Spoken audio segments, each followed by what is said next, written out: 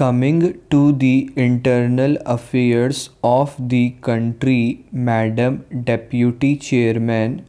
the policies of the Government of India for the last 60 years have been so manipulated that the rich people are becoming richer and the poorer sections of the people are becoming still poorer. The committee that has been appointed to investigate into the question of the distribution of income has not yet given its verdict, but it is common knowledge that the people who are in the higher ups have become more rich and the people in the lower rung have become poorer. The prices of essential commodities that the peasants and the workers use have gone up so high that they are not within the reach of the mass of the people of the country. Government have not taken adequate steps to bring down the prices and to stabilize the prices as was recommended by the food grains committee. We are now in the 11th plan. While the plans are progressing the number of the unemployed in the country is increasing. This is a very anomalous position. It is the government alone that can explain why, in spite of the plans, the unemployment problem is becoming more and more acute. As was rightly pointed out yesterday by some speakers, our agriculture has not been paid due attention that should have been paid to in a country where 80% of the people live on land.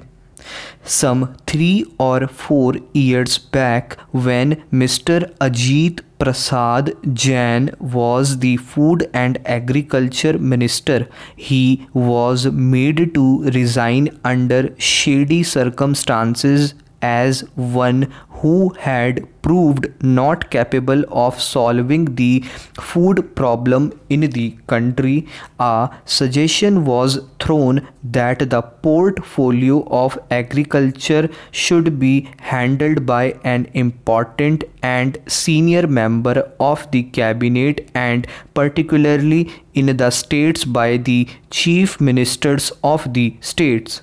but nothing of the sort has happened.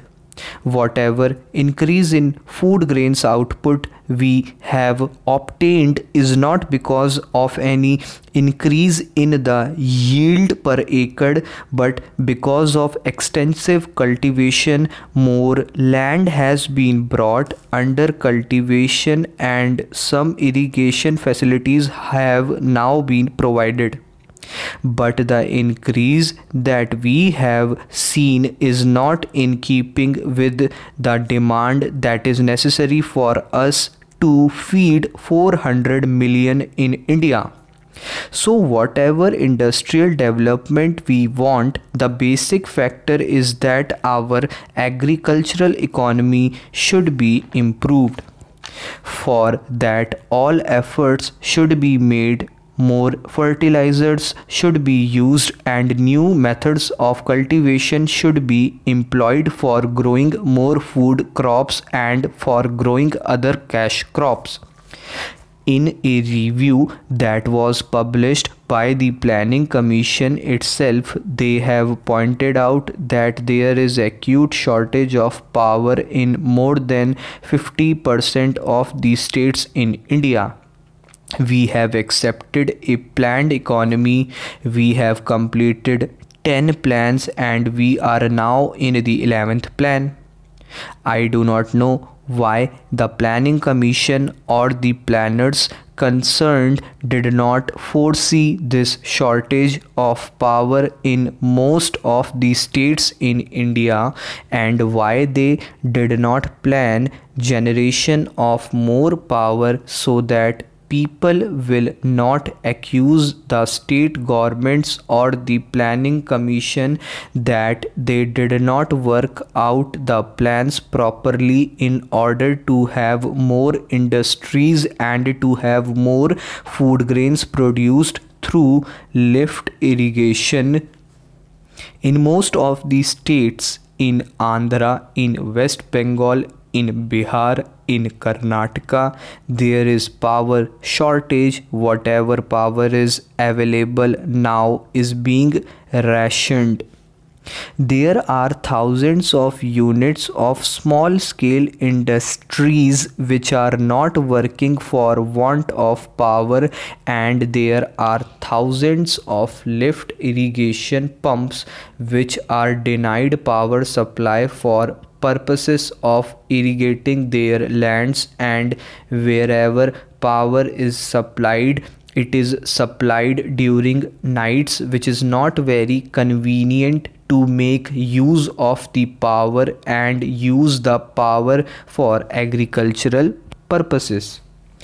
The finance minister in the statement that he made in the Lok Sabha and which was placed before us has stated that it was assessed that for the successful implementation of the plan even after taking every possible measure for the development of our exports which clearly must be given the highest priority. We would need external assistance of the order of rupees 2600 crores and we have however been less successful in obtaining and utilizing the external assistance required for financing the imports necessary for our developing economy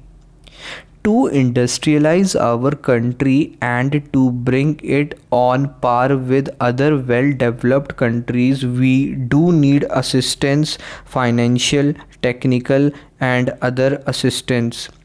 the finance minister was so hopeful that he was getting rupees 2600 crores of foreign aid from Aid India Club and other countries.